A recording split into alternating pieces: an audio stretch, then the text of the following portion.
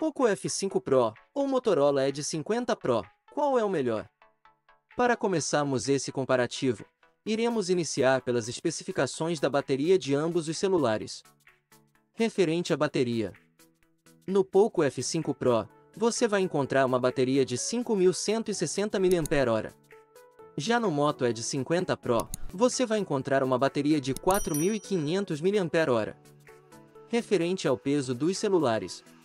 O Poco F5 Pro pesa 204 gramas e tem 8,59 mm de espessura.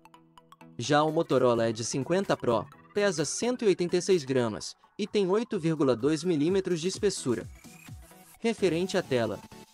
O Poco F5 Pro vem com uma tela AMOLED de 6,67 polegadas, Quad HD Plus, com 120 Hz, com 526 ppi.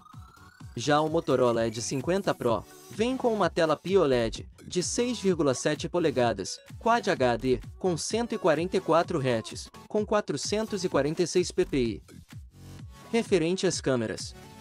O Poco F5 Pro vem com um conjunto de câmeras triplas, cuja câmera principal é de 64 megapixels, e mais uma câmera de 8 megapixels ultra-wide, e a outra é uma câmera de 2 megapixels, para fotos macros.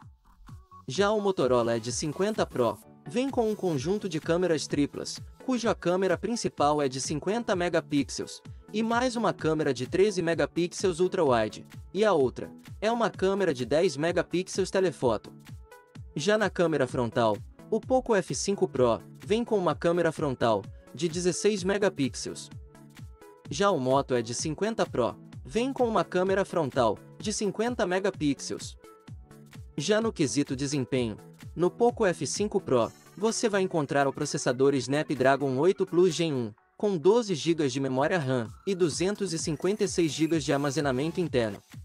Já no Motorola Edge 50 Pro, você vai encontrar o processador Snapdragon 7 Gen 3, com 12 GB de memória RAM e 256 GB de armazenamento interno.